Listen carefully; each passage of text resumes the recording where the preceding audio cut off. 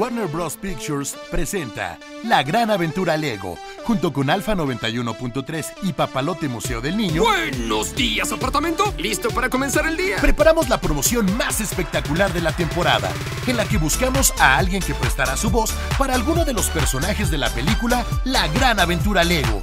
En los programas de Alfa 91.3 y a través de las redes sociales, invitamos al público a participar y el resultado fue sorprendente. Si quieren darle vida a uno de los personajes de esa película con su voz, vamos a hacer 60 casting este sábado a partir de las 10 de la mañana en Papalote Museo del Niño. Alfa 91.3 hará los castings para seleccionar a la voz que será parte de la gran aventura Lego. Más de 600 personas entre niños, niñas, tíos, papás y abuelitas de todas las edades se dieron cita durante dos fines de semana en la explanada del museo para participar en nuestra promoción. Y ahora, bajo estas circunstancias, tuve que hacer planes. ¿Otros planes? Sí. ¿Por qué?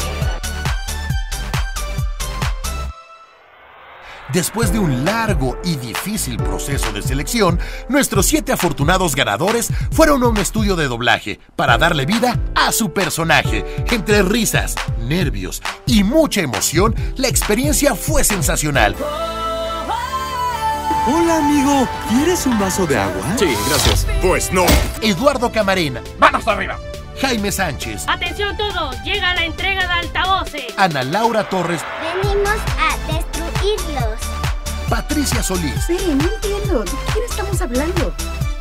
Emilia de León Prina, ¡Me tienen el! Samuel Sánchez Curti ¡Quieto ahí! y Fernando García La historia de un donadie que logró salvar al mundo. pueden presumir que prestaron su voz para esta película. Gracias a todos por participar. Y no te pierdas la gran aventura Lego este 7 de febrero solo en cines.